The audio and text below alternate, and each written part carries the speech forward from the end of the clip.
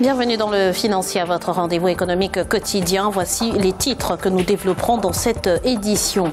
La Banque islamique de développement annonce plus de 500 millions de dollars de prêts en faveur de l'Afrique, une enveloppe qui permettra d'appuyer plusieurs projets dans trois pays.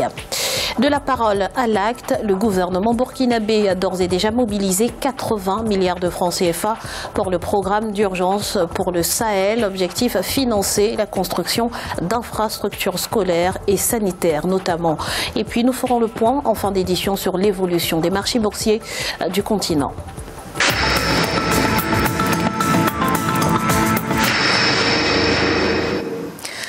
500 millions d'euros, c'est le montant du financement que la Banque islamique de développement prévoit d'accorder euh, au continent africain. L'annonce a été faite lors de la réunion annuelle du groupe à Tunis. Objectif financer des projets en Côte d'Ivoire, en Tunisie et au Sénégal, mais aussi soutenir les banques d'Afrique subsaharienne qui financent les petites et moyennes entreprises. On fait le point avec Marcel Farbamaroun.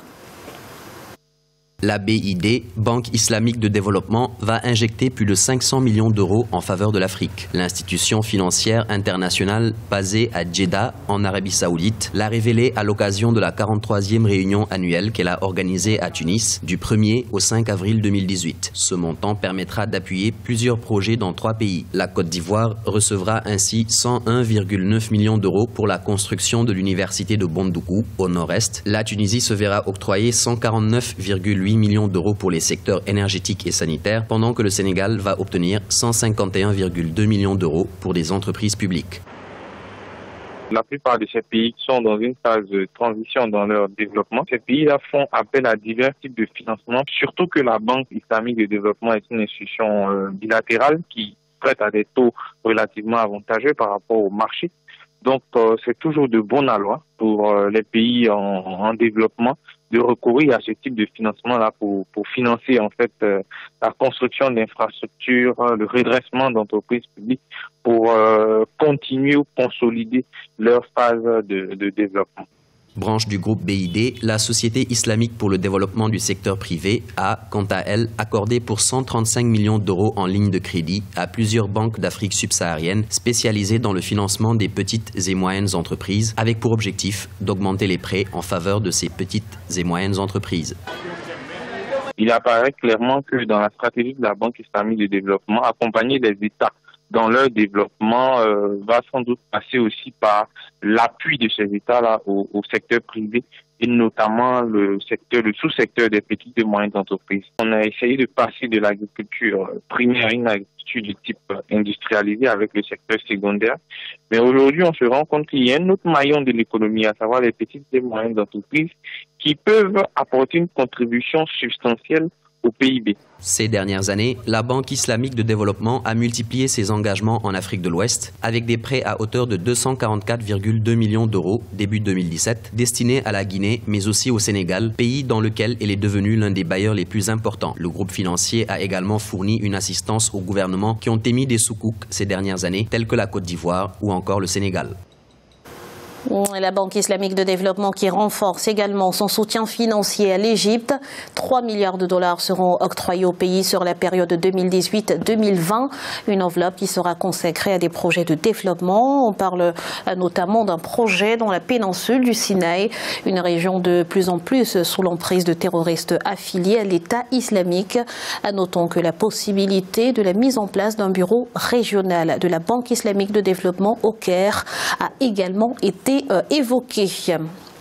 Dans le cadre de la mise en œuvre du programme d'urgence pour le Sahel, l'État burkinabé a déjà mobilisé plus de 80 milliards de francs CFA au titre de l'année 2017. 155 milliards de francs CFA sont prévus pour 2018. L'objectif est de trouver des solutions durables à la vulnérabilité de la région et notamment en matière de sécurité. Déogracias Podo. Officiellement lancé en août 2017, le programme d'urgence pour le Sahel du Burkina Faso apparaît comme une réponse au double défi sécuritaire et socio-économique de la région située à l'extrême nord du pays. D'un coût global de 455,34 milliards de francs CFA pour une durée de trois ans, il vise à améliorer les conditions de vie des populations de cette partie du Burkina. La mise en œuvre du plan de travail 2018 bénéficiera d'un gap de financement de 40 milliards de francs CFA qui sera mobilisé sur la base d'une table ronde avec les partenaires techniques et financiers. Nous avons véritablement un engagement des partenaires qui ont été satisfaits pour l'effort que le gouvernement a consenti pour ce qui concerne le financement sur les seules ressources de l'État du plan de travail 2017. Nous avons beaucoup de partenaires qui se sont engagés à nous accompagner et à date, nous estimons une contribution de près de 80 milliards qui peut être comptabilisée au titre de leur apport.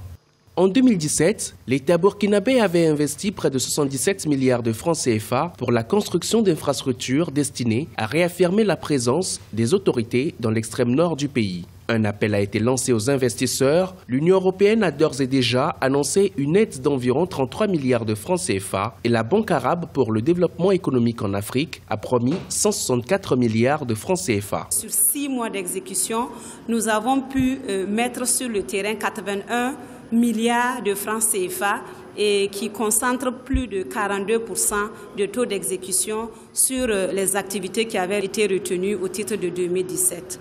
Pour ce qui concerne le plan de travail donc de 2018, euh, il coûte 154,9 euh, milliards et, et, connaît un gap de financement de près de 40 milliards qui sera donc mobilisé, comme on l'avait dit, sur la base d'une table ronde avec les partenaires techniques et financiers.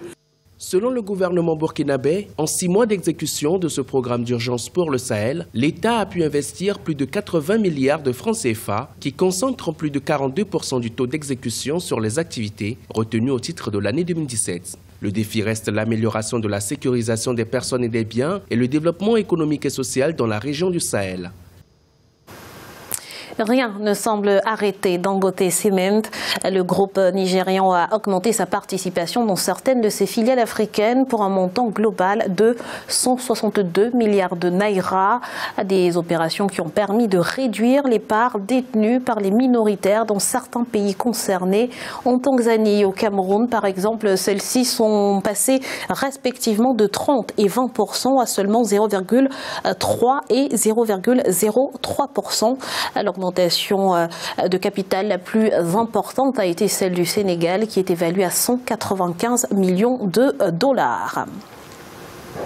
Le gouvernement ghanéen met le cap sur l'agriculture. 15 000 tonnes de semences améliorées seront distribuées à 500 000 producteurs locaux au courant de l'année 2018. Une initiative qui s'inscrit dans le cadre du programme Planté pour la nourriture et les emplois. Un programme qui ambitionne d'améliorer la performance agricole du Ghana à travers un soutien à la production et une assistance technique. Parmi les cultures concernées le riz, le maïs, le sorgho, la tomate, l'arachide, le piment ou encore le euh, soja. Il est à présent l'heure de faire un point sur l'évolution des marchés boursiers euh, euh, africains à la mi-journée en Afrique australe et dans l'océan Indien. L'indice de Johannesburg a gagné 1,16%. La bourse de Nairobi a enregistré une hausse de 0,07%. Les marchés boursiers de l'île Maurice étaient en hausse de 0,26% et la bourse du Botswana perdait 0,42%. En Afrique de l'Ouest et centrale, euh, la bourse du Nigeria a gagné 0,17%. La BRVM d'Abidjan a enregistré une baisse de 0,21% et l'indice ghanéen a gagné 0,15%. En Afrique du Nord, enfin, l'indice tunisien était en baisse de 1,53%. La bourse égyptienne gagnait 2,18% et celle du Maroc enregistrait une baisse de 0,34%. C'est à présent la fin de ce financier. Nous vous remercions pour votre fidélité. On se retrouve très vite pour un nouveau rendez-vous de l'économie sur Africa 24.